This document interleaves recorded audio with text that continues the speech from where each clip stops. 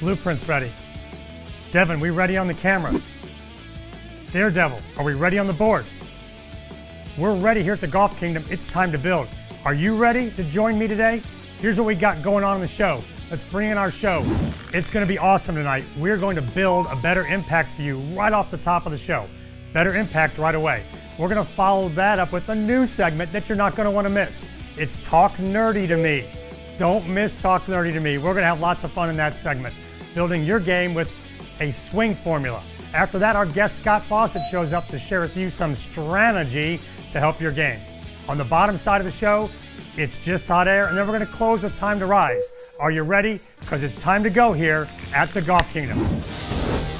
The Golf Kingdom, brought to you by Essentia Insurance, tailor-made, and Executive Air Conditioning.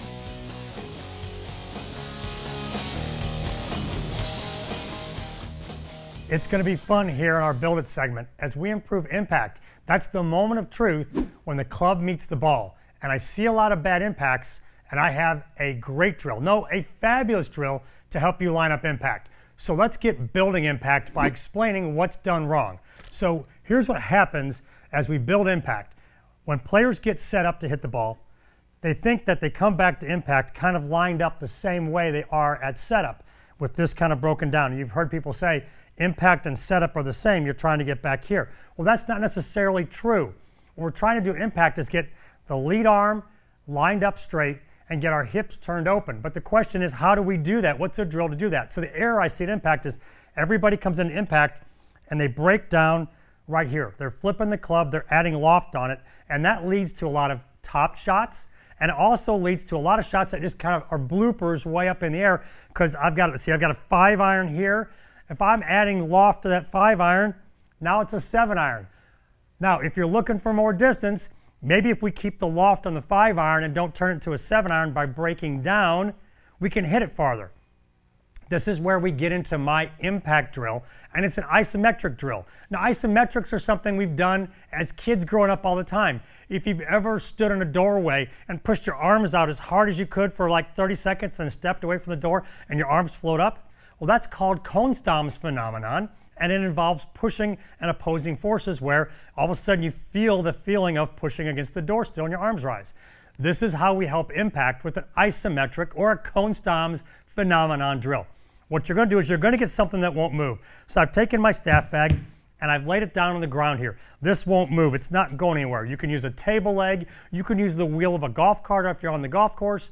Anything that won't move. It can be practiced at home. It can be practiced out on the golf course. Anywhere you got something that won't move. So what you're going to do is you're going to take your club. It could be a five iron, could be a seven iron, whatever you want to do. Get set up to the stationary object. Turn your hips. Get your weight on your front leg. And now you're going to push against the bag as hard as you can. And you can see the, the shaft of the club bending a little bit. I'm pushing as hard as I can. And I'm going to push for about 10 seconds here, getting that left arm lined up, feeling a lot of pressure on this hand, making it straight. Now when I step away and I take a little swing here, oh wham, I lined right up at that spot. This drill will give you the feeling right away. So practice it with both hands, practice it with left hand, practice it with right hand. If you practice it with right hand, you'll get the feeling of this angle right here at impact and will line it up better and hit more quality compressed golf shots. This drill is phenomenal for helping you build a better impact. It's time to talk nerdy. And you're probably wondering, what's with the lab coat and the glasses? Well, I need the glasses to see, obviously. But now we're going to talk about a little bit of science in golf. And I've got a swing formula to help make the game easy. So I don't care if you're just learning the game or you're interested in picking up a golf club. Maybe you've played for a while or you're an accomplished player. This swing formula will help you know where to move the club, where to move your body, and how to swing. And you can always go back to it if you're struggling. It's a simple formula. Follow me. I'm going to show you the formula right here. So the formula, it's very simple. It's A plus triangle plus L plus rectangle plus Y equals I. That's what it equals. So bring that Daredevil, bring that up on the full screen so everybody can see it. A plus triangle plus L plus rectangle plus Y equals I. So if you know your shapes and your letters, we can build a golf swing. Daredevil, come back on me now. Now, let me take you through each part of this equation. Let's start with the A first. So here's what the A means. And if you've ever been angry at someone, you stand like this. You cross your arms, your feet go out fairly wide, about shoulder width, and you, you strike this position where you look like a capital letter A. That's the A in the equation. I call it the angry A. So if you're trying to find your setup, just simply you take the angry A and from here, you bend your angry A. And there's my setup right there. That's the first letter of the equation, the A. Now, the second part of it is the triangle. Now we're going to start moving the body and moving the club. So we make our angry A, and when I bend and bring my hands and arms together, my hands and arms form a triangle right here. When I bring the club in, here's what my triangle looks like. The first part of the swing is I'm going to move my triangle to the right till my hands pass my right leg. Not, not forever back, just right here. My triangle is going to move to the right, my hands are going to clear my leg, and that's the second part of your equation. So A plus triangle gets the club moving. Now, this might be the most important letter of the backswing, and that is the capital letter L. If you can learn how to make a capital letter L in your backswing, you can swing the club pretty successful every time going back. So once again, I go angry A, I bend, make my triangle, I move my triangle back outside my right leg. Now from here, I'm going to come back and make my left arm go parallel to the ground, and my hands will actually activate here, and this is where the wrist cock happens. And you can see the club is up, Left arm is parallel to the ground, and here's your capital letter L. From the down the line look, you'll see triangle, and then the club up, and here's your 90 degree angle right there. There's the L. A plus triangle plus L. Now let's bring the club down, and we're going to talk about the rectangle. The rectangle. I draw the rectangle from my shoulder tips down to my hip bones and across. This makes a rectangle. As I come down, I just want the rectangle to turn like this. Very easy thought. So A, triangle, L, and then I'm going to turn the rectangle. I'm going to get this rectangle in inner, inner part of me moving and turning. Now, I'm coming to the moment of truth. I'm coming to the impact position. And like you saw in the build it segment, I helped you build good impact. I'm going to help you build it again here by understanding how to make the second to last symbol, the Y. So A, triangle, L, rectangle starts to turn. Now when I get to impact, I want to look like a capital letter Y. You can see I'm straight on this side, and this is angled inward. I don't want to be looking like this out like that. I want to come down from my L, turn my rectangle, and bang, I line up my left arm and my left side perfectly straight here at the moment I slam into the ball.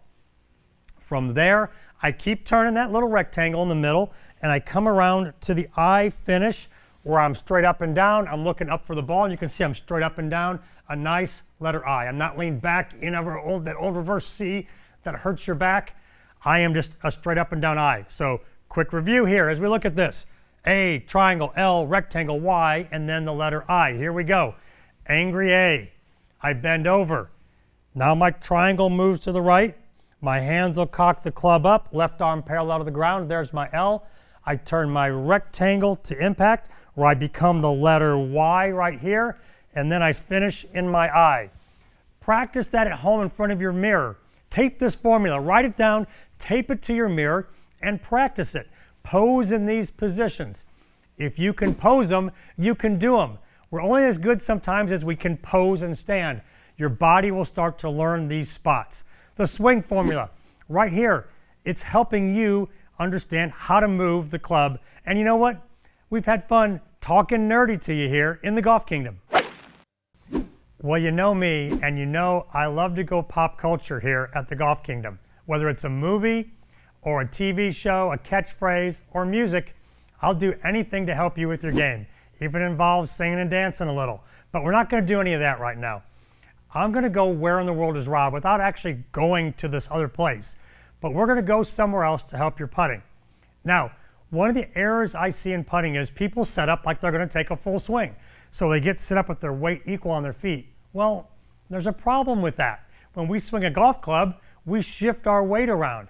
When we putt, we don't want any of that. We don't want to be shifting and moving around when we putt. one degree of face change at 10 feet when we putt is going to miss the hole. So if it's a straight putt and you move that face around one degree, it's going to miss right or left. So we want to stay dead still when we putt. Now the question is, how do we stay dead still? That's where we're going to go, where in the world is Rob? And I'm going to show you a cool place here that's going to help our putting. What's that right there? That's the Leaning Tower of Pisa. So the Leaning Tower of Pisa is going to help us with our setup and putting. Let me explain. I said earlier, you get your weight all 50-50 when you putt, and that allows you to be wobbly. What I want you to do is lock your weight on your front leg. So instead of being here all balanced out, I'm going to get myself leaned on my front leg. I feel like I'm 60% here, kind of leaned left like the Leaning Tower of Pisa. So I'm going to get set up. My ball position is going to be good up here towards like the logo of my shirt. I'm going to get set up and I'm going to feel a little left heavy and I'm going to lock myself there. So when I take my stroke, I am not going to be moving around. I'm locked on my front leg. If I get 50-50, well, I can shift and wobble around. Get set up, get a little extra pressure on your right foot like you're pushing down to the ground, 60%, and that will help you lock down your putting and probably help you control your face. If you can keep your body still and control your face, guess what? You can make more putts. So get like the Leaning Tower Pisa here, a little lean left, and you know what? I think you'll make a lot of putts this summer on the golf course.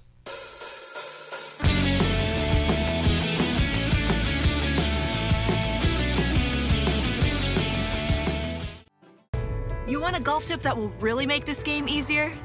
Okay, here's mine. The fastest way to get good is by finding a great coach. And the fastest way to find that person is through golfchannelacademy.com. It'll match you up with the best coaches in your area. And now you can even schedule a new student assessment. So, what are you waiting for? Schedule a training session with your local coach, Rob Strano from Strano Golf Academy in Destin, Florida at stranogolf.com.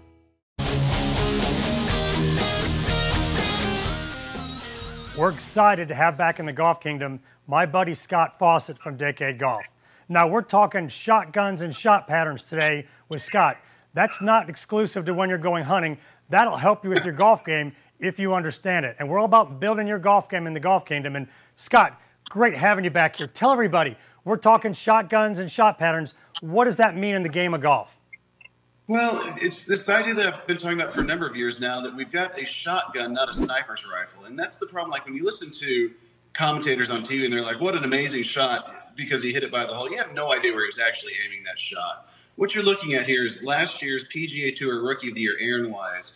We were filming some content for Course Kings and we had him hit 27 irons in a row that we normalized to no win. So this is, I mean, I'm not going to say it's as good as it could get, but this is a, just the reality of his shot patterns. The shot to the left is is is 22 yards left, and the shot to the right is 12 yards right. So his shot pattern with a seven iron from 185 yards is 34 yards right, or 34 yards wide rather. That's amazing. It's, it's it's unbelievable. And so if you really think about the idea of of targeting golf shots, it's simply a, a matter of variance within your shot pattern. When you go on to the next slide now and you look at distance control, not only do amateurs, with all due respect to amateurs, not really have a good idea of where it's going, but uh, distance control wise, but PGA Tour players don't either. Everyone is playing for essentially this 80th percentile of their distance shots. So when you have a hole with nothing short, like number 13 here at Riviera, you'll see these professionals coming up short all the time because it's not like you can over pure a golf shot, but you certainly miss hit a whole bunch. The image to the right there is Aaron Wise now trying to hit 20 110 yard sand wedges. And as he's trying to hit it 110 yards, he only hit four out of 20 actually beyond 110. Now he hit a whole bunch 107, 8, and 9, which is really impressive. But at the end of the day, you've got this this, this shotgun that has both a width for uh, directional control and a depth for distance control. And then when you're actually going to hit shots close, you have to get both of those things somewhat lucky. That's amazing when you think about the PGA Tour players struggle with that. And you and I both know from working with amateurs, they'll hit that one seven iron that'll go 170 or 180, and that's their yardage. And they don't understand this shotgun pattern. It's really important that players can see that and understand. You've got to understand where that lays and how it goes. That's awesome stuff, Scott. Absolutely. Well, and that's where when you take it on out and, and you look at Cameron Champ, who sat through my seminar twice, and when he won in Jackson last year, here he is on the 13th hole, and you could hear his caddy pretty clearly say, "Are you committed to a target that's four yards right of the four yards left of the hole?" He winds up hitting it to nine feet and making it for birdie. But when you look at what laying his shot pattern over over that exact hole, the green is 17 yards wide up front. The pin was four yards from the right edge, and he was trying to aim it centering his shot, shot pattern, if you will, four yards left of it. He's essentially with a gap wedge going for the dead center of what I mean, 17 yards is a pretty narrow green.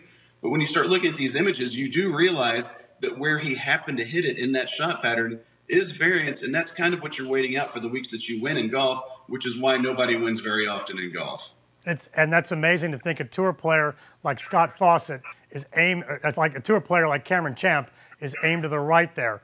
And, and he's trying to hit that shot in there and is just playing to the center of the green. That's where understanding the shotgun pattern is important. And you'll learn more about this if you follow Scott. Jump over to his Twitter, follow him at Scott Fawcett, F A W C E T T, at Twitter. Also, playinglessons.com online. Scott, great having you here on the Golf Kingdom, and you continue to build our players' games and help them understand how to aim and play better. Great seeing you, and thanks for being here again. Thank you. Awesome to have Scott here always, and it's a great opportunity for you here on the Golf Kingdom to learn from a guy who's working with a ton of tour players on their games. So he's just not telling you theory. Remember, he's a truth teller. He's telling you guys exactly what you need to do to play better golf. And that's what we're doing here in the Golf Kingdom. We're building your game. Fitness is really important to me, and I know it's important to a lot of you out there. And we're going to talk some interesting stuff here with our PT Solutions fitness coach, Leanne. Leanne, how you doing today? Welcome back to the Golf Kingdom.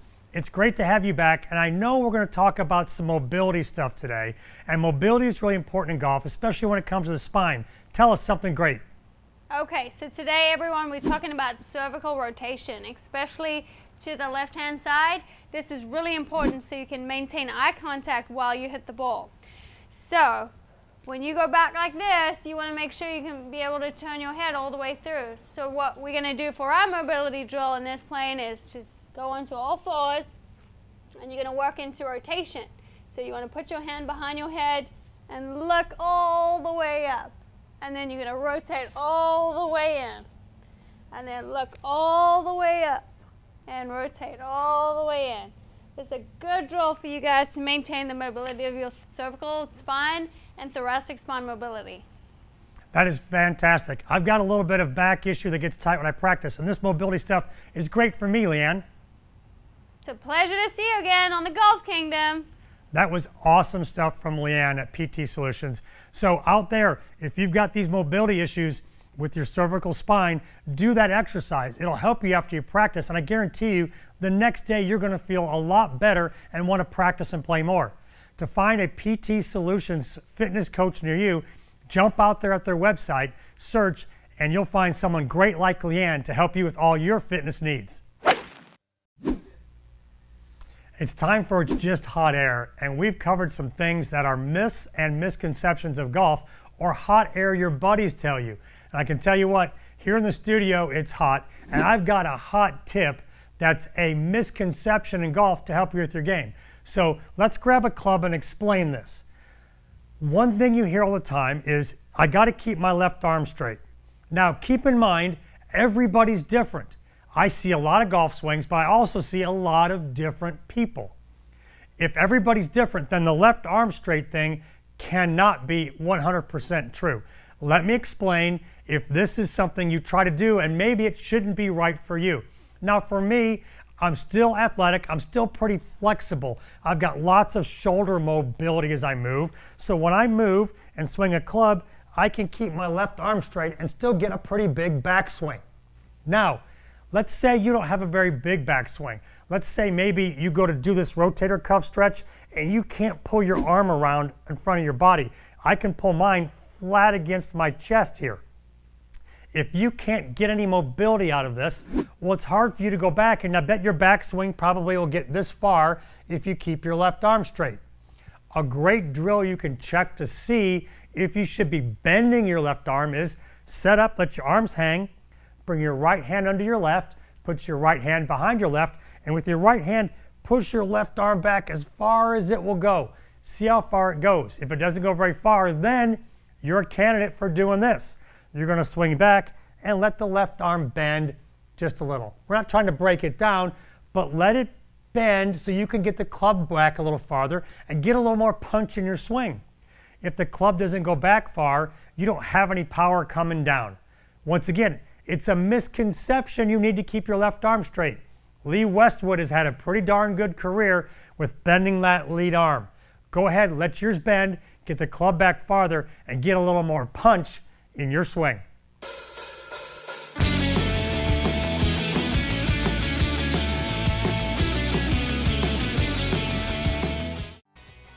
Alexa, open Golf Kingdom. Welcome to Golf Kingdom. Here's your golf tip of the day.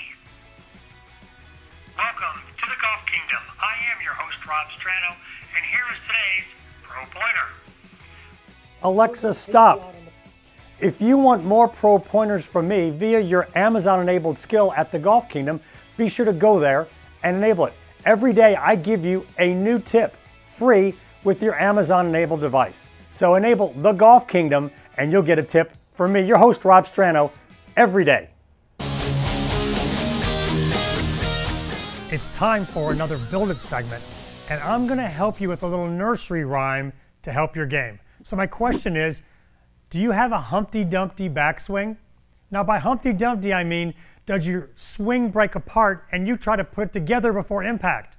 I see it a lot in lessons at the Academy, whereas players swing back, their arms break apart, and then they try to put them back together before they get back to the golf ball. And you know what? Humpty Dumpty never got back together, and your golf swings don't get back together either. Now, I'm going to explain the Humpty Dumpty thing as we build your backswing. So what happens is, as players swing back, and we're going to go to the wide camera here, Daredevil. As players swing back, their elbows will break apart, and that's that flying right elbow. You get wide there, and then you try to get it back together coming down, but you don't. So as you go back, you get wide, and then that's that arm wants to come down like this, and we get that chopping action coming down. Now the question is, how do we keep Humpty Dumpty together? So I'm going to explain how to keep Humpty Dumpty together. Then I'm going to give you a modification for if you're a different body type who can't keep your elbows together. Now the drill I'm going to give you, you can do at home, the golf course, anywhere. And you can use something as simple as a Nerf ball by putting a Nerf ball between your elbows and keeping it in there. I'm going to demonstrate, but you know what? I, I forgot my Nerf ball. So instead, I'm going to have to use a Garfield. I did remember to bring Garfield. So I'm going to put Garfield between my elbows here. I'm going to lock him in there. So now when I go back, I'm squeezing. I can't come apart. So when I swing back, Garfield keeps my elbows together and I'm not breaking apart like Humpty Dumpty. So from front view, Garfield's looking right at you. I go back, my elbows stay together. Now when I come down, they stay together too. Down the line view, I go back, elbows together, I come down, elbows stay together. I'm not playing Humpty Dumpty golf and trying to put my swing back together. So Garfield's perfect for you, or a Nerf ball, or anything you can squeeze in there, a balloon, anything will work to try to keep that elbow connection and not flare them apart. Now, here's your modification. If you are a thick-chested person or have limited mobility, and we did mobility in our fitness segment, if we have limited mobility, you have to let your elbows drift a little. Not a lot like I demonstrated. We don't want them breaking wide apart, but you can let them drift a little bit. It's hard to get that elbow in there if we don't have the mobility. It's okay to let it drift and then come back in. This has been a great build it segment to try to avoid the Humpty Dumpty of your golf game. He broke apart and never got back together, and chances are, if you're breaking apart, you're not getting back together at impact either. One of the things I love here at the Golf Kingdom are lots of questions from our viewers. And we've got one from Daniel. Let's bring it up on the screen here, Daredevil. Daniel asks, I have a dumb question. How high should I tee the driver? So let me give you a quick, easy checkpoint for how high to tee your driver. And it kind of goes to how the driver is meant to be hit. The ball is up on the tee, so the driver is meant to be swung up on it to launch the ball high. Here's your checkpoint for the driver. You want half the ball above the top of the club. So you can see I've got half the ball above the top of the club. When you put your tee in, you want to kind of check and see is half the ball above the top of the club. That's the perfect spot to tee your driver, no matter which driver you're using. So it's time to rise here at the Golf Kingdom. And we just had a question from Daniel. And do you remember how he started his question? He began it with the statement that we hear all the time I have a dumb question. Well, you know what? There are no dumb questions. And I really believe you should strike that sentence from your vocabulary. You should never, ever utter the sentence, I have a dumb question. My challenge to you is never, ever again say, I have a dumb question. The only dumb questions are the ones that are never asked. My players all the time will say to me, Hey, coach, I've got a dumb question. I'm like, No, there's no dumb questions. It's how we learned. As a kid, I was asking everybody questions. And once I became a tour player, I asked all the other tour players questions about, hey, this golf course or travel or anything I didn't think I knew. It's the only way we learn, aside from reading, is to ask people who have been there and done that questions about what's the easy way to do this or what's the best way to do it. So I want you to light up the questions in your life. I want you to ask as many questions as you can, especially of the smart people. Remember, the only dumb question is one that's never asked, and you're only as good as your questions. So take time to ask people questions that will help you rise up. This has been another great day here on the Golf Kingdom. We've built a lot of great stuff. And remember, get out there on social media. Like us on Facebook. Check out what we've got going on on Twitter and Instagram at the Golf Kingdom. And I've got a YouTube channel also where some of the clips from the shows are housed. Go there and watch some more stuff about the Golf Kingdom and learn how to continue to build your golf game.